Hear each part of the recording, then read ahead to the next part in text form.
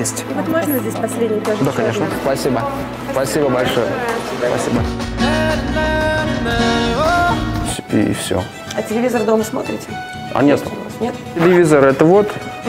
Это здесь. Все, что я от жизни не получил, да, не недополучаю или еще как-то, я это выражаю и могу выражать это в музыке. Родные, рассеять тьму вокруг всегда сложнее, чем погасить свет в себе.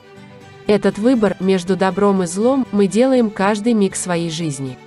2022 стал годом выбора и годом перемен.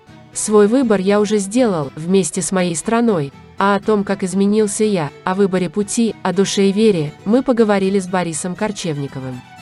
Сразу два выпуска программы «Жизнь и судьба» выйдут в эфир телеканала «Россия» в четверг 8 декабря в 9 часов 30 минут утра и 9 декабря в пятницу.